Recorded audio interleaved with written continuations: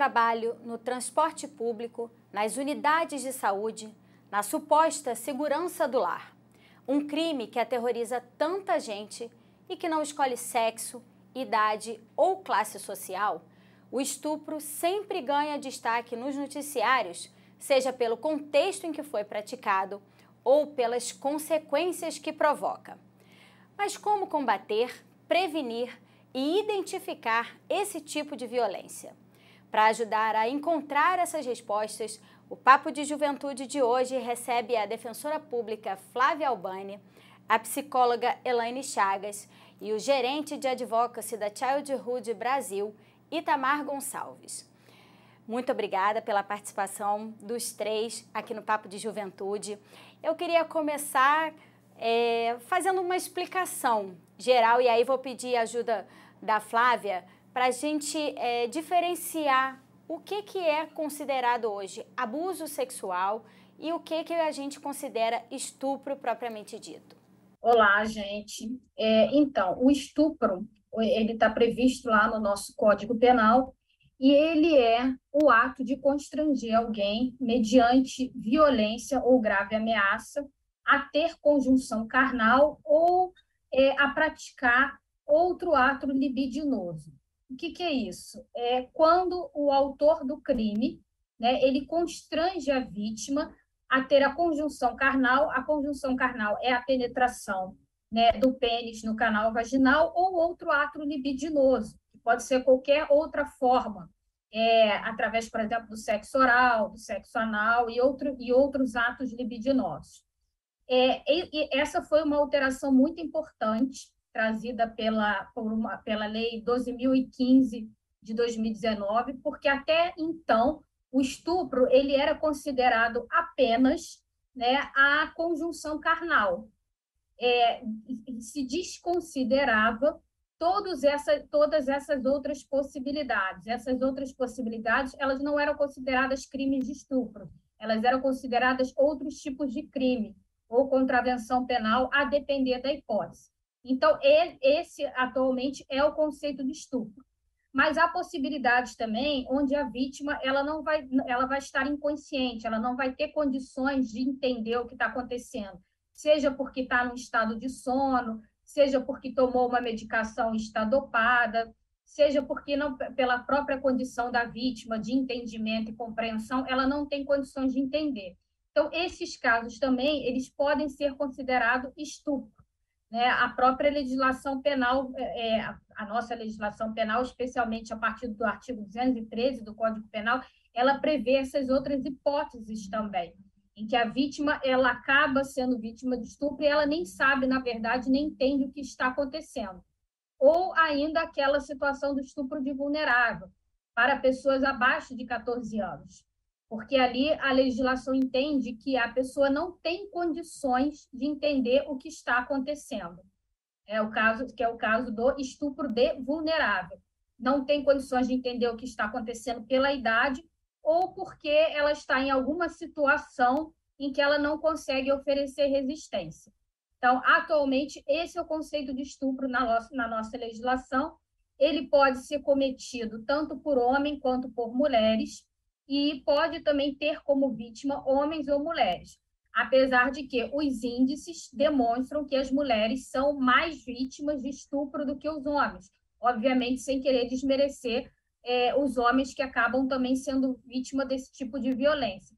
Mas os estudos e as estatísticas demonstram, até por conta desse machismo estrutural que vivemos na nossa sociedade atualmente, que acaba ocasionando essa cultura do estupro, que as mulheres tanto adultas quanto crianças, elas infelizmente são muito mais vítimas de estupro.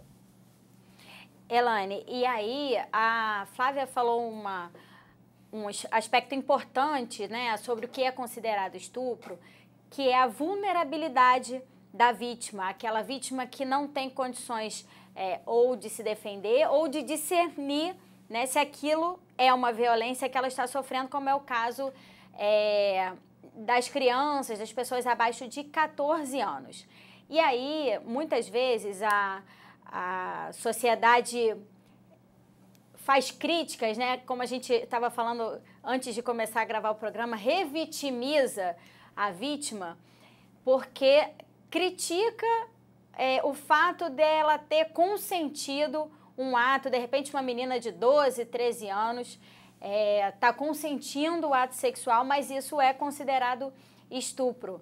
É, por que a gente precisa entender que essas pessoas não têm ainda né, discernimento suficiente para entender a gravidade daquele ato? Bom, primeiramente, obrigada aí pelo convite. Muito bom estar aqui discutindo tudo isso. A gente, infelizmente, vive numa sociedade que deseduca para habilidades socioemocionais super importantes para o nosso convívio social. É, a gente acaba negligenciando aí empatia, autocuidado, né? E esse espaço de conversa e reflexão é super importante. O impacto é de uma violência sexual na vida de uma criança ou de um adolescente é devastador e traumático, porque as crianças ainda não têm e os adolescentes ainda estão num processo de desenvolvimento físico e mental para a experiência sexual. As crianças não possuem capacidade de entender e explicar essas experiências, e os adolescentes ainda estão num período de experimentação sexual, é, sendo comum a exploração do próprio corpo feita por eles próprios, né? É, que, e isso vem acompanhado aí das mudanças físicas dessa fase. É, o abuso e a violência que tá, causa o constrangimento, bem que a Flávia falou, não se encaixam em nenhuma fase da vida sexual do ser humano, né? que dirá na vida de crianças e adolescentes. E agora eu queria saber do Itamar, é, com tantos casos né, no Brasil, com tantas questões graves, qual é o trabalho que a Childhood Brasil desenvolve é, ajudando, dando suporte a essas vítimas e até ajudando na prevenção desse tipo de caso? Também gostaria de iniciar agradecendo o convite, cumprimentar as amigas, né, por essa oportunidade da gente poder debater um tema tão importante, estratégico no nosso país frente a, ao nosso cotidiano, né? As notícias que nos chegam todo dia sempre traz esse, um caso de violência. Então, como a Flávia falou, né, essa questão é, da violência sexual contra crianças e adolescentes e adultos, né? Ela é, tem na nossa sociedade uma origem, Natália, que é até muito pouco tempo. Nós estamos no ano, né, que o Estatuto Da Criança vai completar 32 anos, né, agora em julho, né?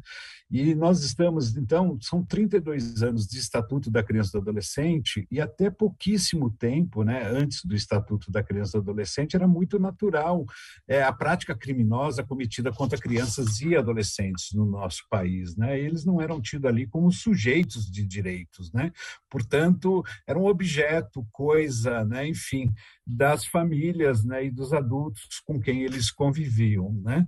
Então, uh, o trabalho de prevenção, né? Olha só, a gente com 32 anos de Estatuto da Criança e do Adolescente, nós nunca tivemos uma diminuição no índice de violência sexual contra crianças e adolescentes. Né? eu estou falando violência sexual, estou falando tanto do abuso sexual, com contato físico ou sem contato físico, como a questão da exploração sexual também, que é muito presente no nosso país, principalmente no norte do país, nas, nas regiões portuárias, né, enfim, né, no turismo, na cadeia produtiva do turismo. Né?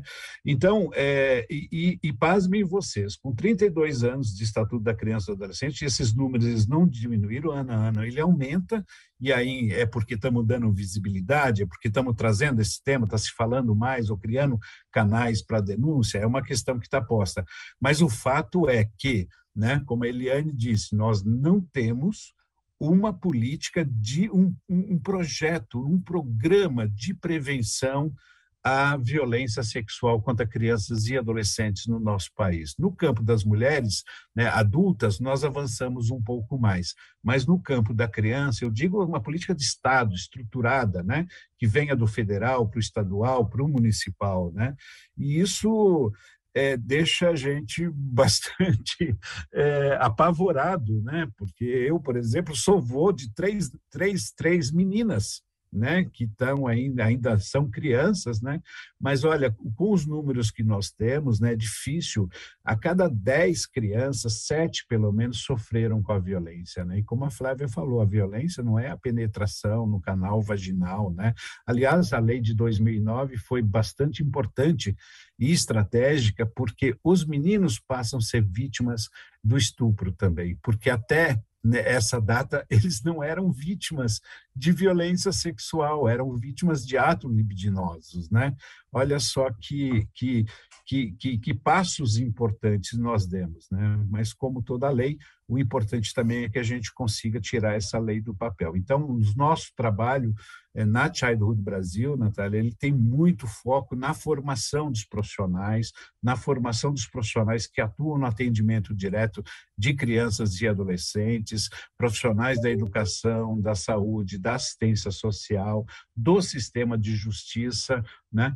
Para é, entender a gravidade, porque, por exemplo, a Flávia, né, quando ela saiu da escola, ela não foi treinada para trabalhar com crianças. Isso foi um esforço dela, ela foi se especializando, etc. A mesma coisa a Elaine, a mesma coisa eu quando fui fazer o curso de violência doméstica contra crianças e adolescentes. Nós não fomos preparados, a gente foi buscar a especialização nisso, né? E esses profissionais, eles saem lá da universidade, da faculdade de direito, da faculdade de psicologia, da faculdade da assistência social e vão para atendimento direto, muitas vezes sem é, conhecer o estatuto da criança e do adolescente, sem saber que são sujeitos de direitos, sem saber né, o, o que tem é, a diferença, né, o que é o que impacta, né, uma criança, por exemplo, que sofre violência, né, é, sexual, por exemplo, você não coloca no colo, não é, Eliane? Dizer, a gente, né, não vai tocar nessa criança, ela aprendeu a, a, se relacionar dessa forma. Esse toque, né, ele pode causar, né, um, um, ter consequências, né, naquele atendimento que está sendo realizado, né. O assim profissional assim pode achar que esse é um ato de carinho, mas na verdade pode ser um ato traumático para essa criança que é vítima. Né? Exatamente. Então, a escola, por exemplo, né, para escutar, a, a, escola é um espaço fantástico, né, o espaço, inclusive, onde vocês querem saber depois do conselho tutelar, é o espaço onde mais é, recebe denúncias, de, especialmente de violência sexual e de violência física contra crianças e adolescentes. Então, se esse ambiente, né, onde a criança se sente segura, tem confiança, estabelece relações, ela também tem que ser preparada para é, fazer esse acolhimento, né? acolhimento no sentido de como é que eu recebo essa revelação de uma violência que a criança recebe. Então, o nosso papel na organização é muito preparar esses espaços, né? esses ambientes, né? e até através da construção de leis. Né? Nós somos coautores da Lei 13.431, que fala da escuta protegida para crianças e adolescentes. Né? A gente vai voltar nesse nesse aspecto tão importante, esse projeto que já está em vigor né, em, várias, é, em vários locais, em várias varas, né, que fazem a escuta das crianças. Mas eu queria antes ouvir da Flávia, é, já é também de conhecimento da, né, da maior parte das pessoas que, infelizmente, os casos é, em relação às crianças e adolescentes acontecem principalmente dentro de casa, né? Ou em espaços onde as pessoas são pessoas de confiança dessas crianças. São pais, avós, irmãos, tios, às vezes um vizinho, um amigo da família. Né? E aí eu queria que você falasse sobre é, é, como alguém que está nesse dia a dia, né, sobre essas situações, sobre a vulnerabilidade dessas crianças e por que é tão difícil para elas justamente é, levar essas denúncias, né, dizer o que está acontecendo diante desse agressor? Exatamente. Esse, esses casos de violência sexual contra crianças e adolescentes, eles ocorrem, em sua maioria das vezes, dentro do ambiente doméstico ou familiar ou nas proximidades desse ambiente. O que, que eu quero dizer? É, ele ocorre, às vezes, né, o agressor, quem estupra aquela criança, aquele adolescente, às vezes ele é um padrasto, ele é um tio, ele é um primo, é um irmão mais velho, né? No caso de meninos que também são vítimas de estupro, é, é, isso também pode acontecer. Então, é, esses, esses estupradores, eles podem acabar cometendo esse estupro tanto contra meninas como contra meninos. Então, são pessoas que vivem naquele ambiente doméstico e familiar. São pessoas que estão, é, que deveriam é, oferecer, ofertar para aquela criança e para aquele adolescente é, um cuidado, ofertar exatamente o contrário, um, uma, uma política, um comportamento de cuidado e de proteção, porque a família é o local onde a gente espera que essa criança ou que esse adolescente encontre um local de proteção, de cuidado, para que ele possa crescer, ter a formação da sua personalidade com dignidade, todos os direitos que estão previstos na legislação e com a dignidade que ele merece. Então, no, local onde ele deveria encontrar esse acolhimento, ele acaba encontrando violência. E muitas vezes, é, outras pessoas que compõem aquele núcleo familiar, elas percebem que isso acontece, mas elas negam esse tipo de acontecimento. Já tivemos casos em que a criança era estuprada pelo padrasto a mãe sabia do que estava acontecendo, mas a mãe não queria tomar providências.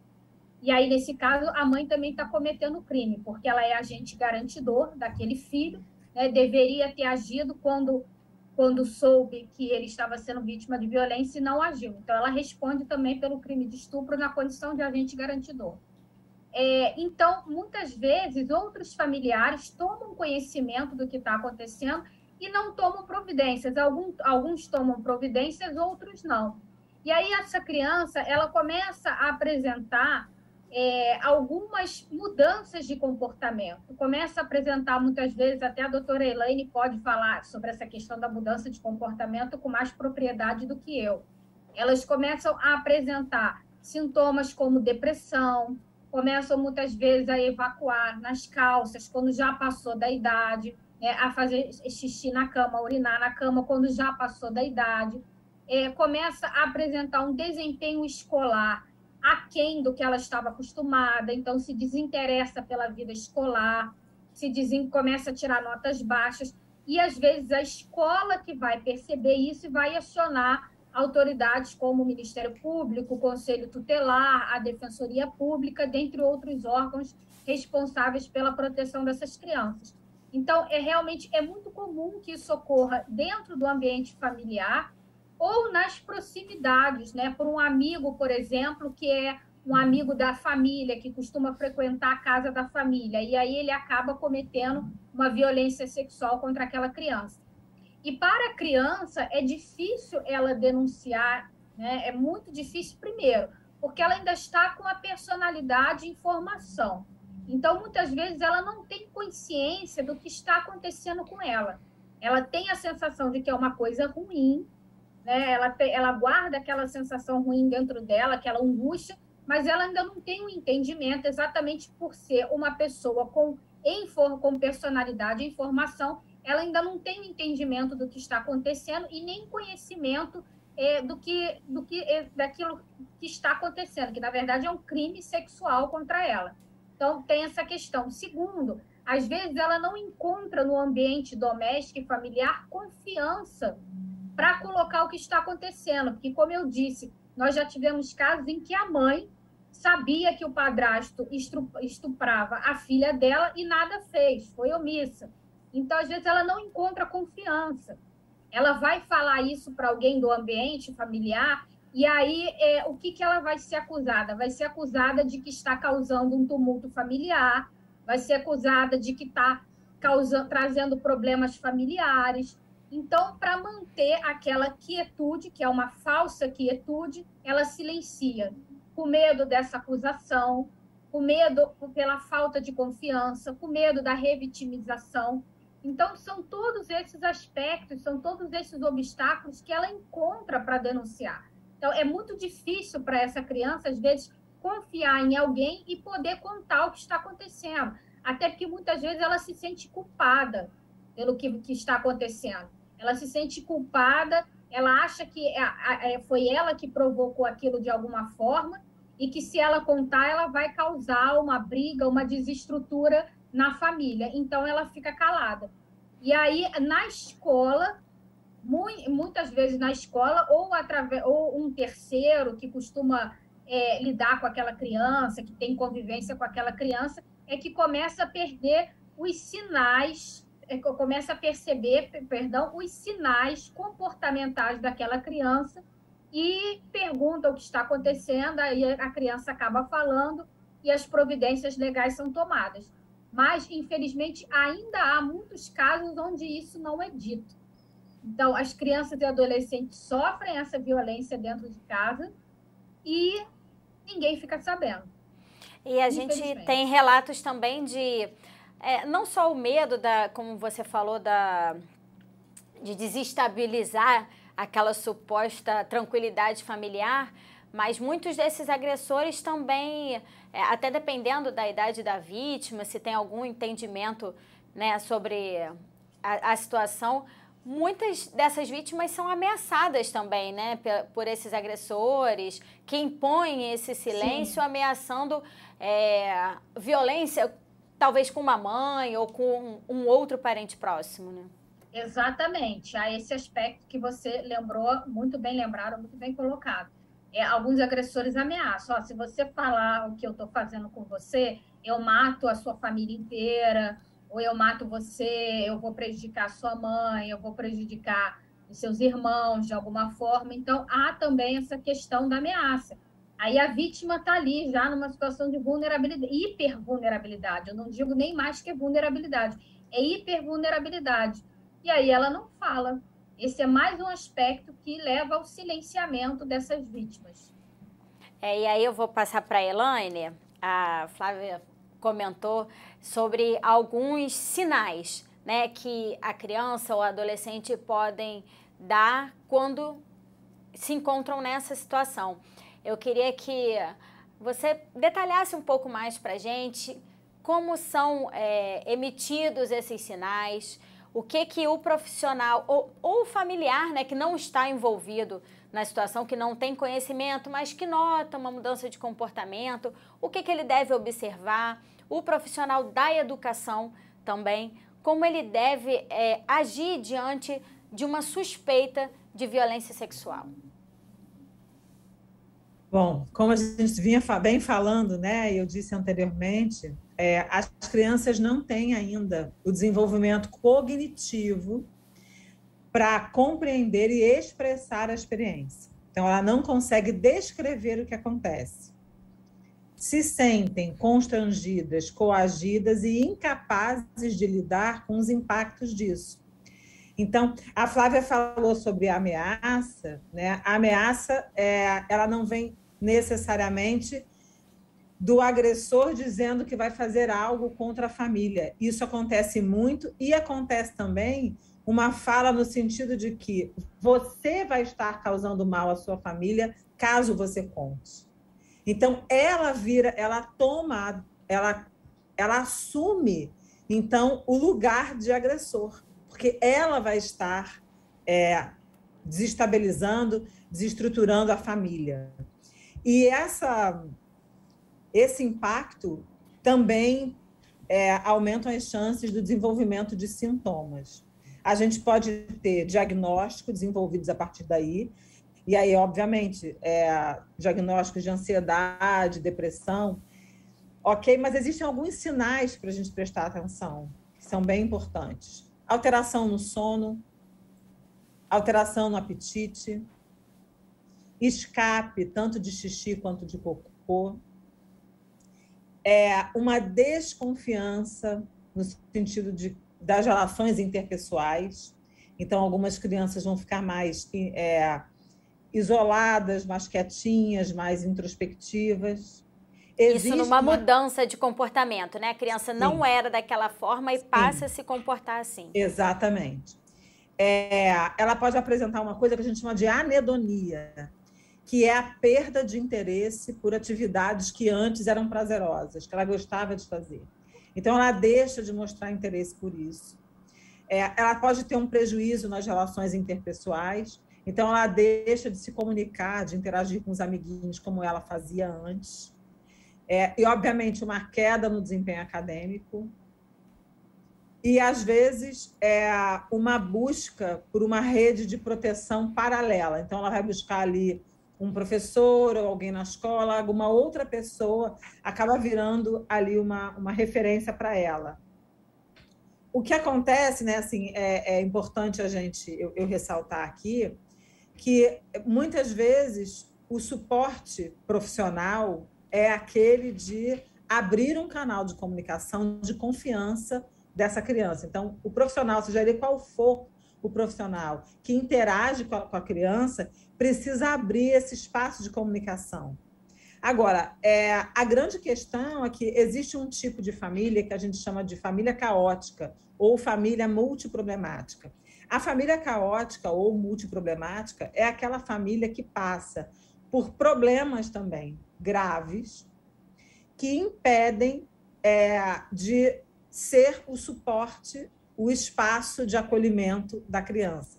Então, pode ser uma família com problemas socioeconômicos muito importantes, pode ser uma família onde os cuidadores principais têm eles diagnósticos ou questões importantes que impedem que eles possam validar, inclusive, a fala da criança quando a fala acontece. Então, é um ambiente que pune, negligencia, ignora a fala, a expressão da emoção. Então, quando essa emoção se dá, né? E aí ela pode vir através da raiva, pode vir através da tristeza ou do medo, por exemplo, da culpa. Quando essa emoção se dá e a criança comunica essa emoção, o ambiente vai ser um ambiente que invalida essa comunicação. E essa invalidação que acontece dentro do ambiente potencializa a chance do abuso. Porque aí é, acaba que o discurso ele fica preso né, com a criança, ele não, não sai. Um outro ponto importante para destacar, né, que prejudica muito que as crianças contem, né, que elas falem, é que, como a Flávia disse, é, em alguns casos, o agressor também tem um papel de cuidador. Então, aquele sujeito que fere, que agride, também pode, dentro daquela família ali, é, ser né, ter um papel, né, exercer um papel de cuidado daquela criança. Então, ela recebe, às vezes, uma informação muito ambivalente né, e dupla, de que eu estou te agredindo ou fiz uma coisa que não sou não, não foi bom para com você, não, né? Você sentiu dor, você está com medo, está constrangido, e ao mesmo tempo essa mesma pessoa é a pessoa que vai fazer um carinho, botar para dormir, comprar as coisas é, ser uma figura importante para outras pessoas, uma referência importante para outras pessoas na família. Às vezes o agressor ele tem uma imagem muito boa frente a outras pessoas da família. Todo mundo gosta daquela pessoa. É como ele faz isso comigo, mas todo mundo gosta dele. Então essas informações que são informações verdadeiras, porém opostas, né? Acabam confundindo a criança e impedindo que ela fale. E aí, quando ela não fala, esses sintomas todos que eu trouxe aí ganham aí bastante destaque no dia a dia dela.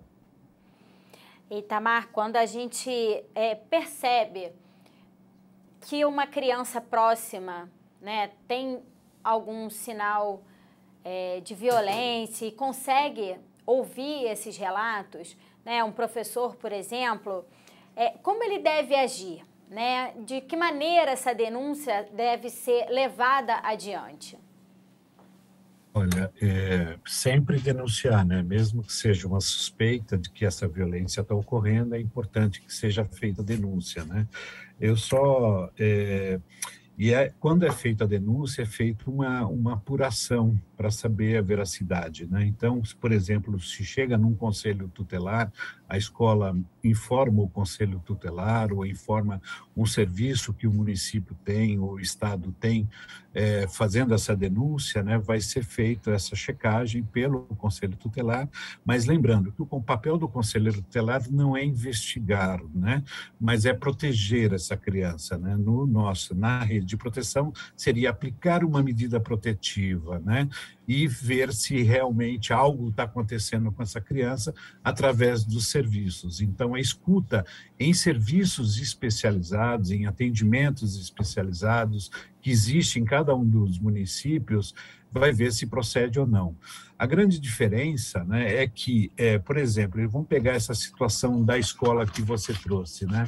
É, um, a gente diz que a escola é a que mais denuncia. Hoje, embora né, vamos lembrar também que são os profissionais que disseram se sentir menos preparado né, para acolher essas situações de violência. Ou seja, a gente não investe na formação desses profissionais para acolher esse tipo de denúncia. Mas vamos lá, vamos ver o que, que seria adequado esse profissional, né? seja o educador, seja um coordenador pedagógico, seja um profissional que atue diretamente na escola. Ele tem que ouvir atentamente essa criança, né? mas ele tem que saber que ele, ele não tem o papel de investigar o que aconteceu. Né? Então, ele precisa dar essa informação para a criança, dizendo, né? É, deixando ela fazer essa revelação espontânea, né? e dizer que ele vai né, é, reiterar para essa criança né, que a culpa dela é, sofrer essa violência sexual ou a violência física, que não é a culpa dela, mas é a culpa do adulto, né? A, a Elaine trouxe as situações, a Flávia também trouxe, né? Eu queria reiterar, né, que o sexo ele é prazeroso, né? E muitas vezes, né? É, olha só o dilema, ela vai se sentir culpada, ela não vai falar porque ela sentiu prazer. Então ela fica com aquela culpa, poxa, mas se eu gostei daquela situação, né? Por isso que é importante a gente trabalhar. Inclusive, quando eu falei de um programa de prevenção, passa sim pela educação sexual, né?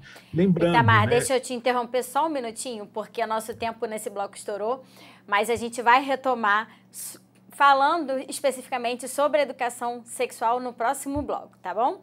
Tá. É só um minutinho, não saia daí.